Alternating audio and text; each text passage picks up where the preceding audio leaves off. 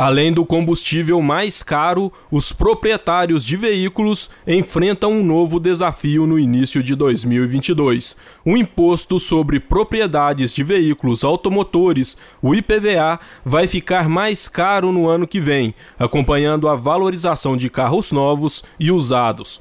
Cada estado tem uma alíquota diferente de IPVA, mas todos levam em conta o valor venal de veículos usados, calculado por meio da tabela FIP ou da nota fiscal de compra, no caso dos veículos zero quilômetros. E diferentemente da lógica de anos anteriores, ambos acumulam expressiva valorização em 2021. No último dado disponível da FIP, o preço dos usados subiu quase 32% nos últimos 12 meses. No mesmo período, os modelos novos tiveram alta de 19%. Para se preparar para o gasto extra, os proprietários de veículos precisam consultar a alíquota de seu estado e aplicar ao valor na tabela FIP. No caso de Minas, a alíquota cobrada é de 4%.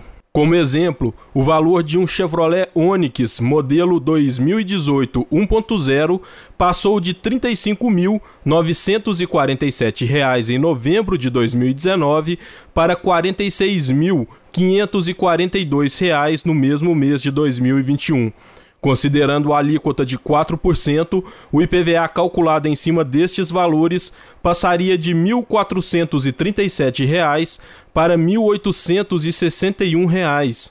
O aumento é de aproximadamente 30%, enquanto a inflação acumula alta de 12,8% no mesmo período. Além da consulta à tabela FIP e cálculo do valor, o proprietário precisa buscar as regras de seu estado para entender descontos do pagamento à vista. O parcelamento do valor integral, em geral, é feito de três a seis prestações. Todas as regras podem ser encontradas no site do Detran.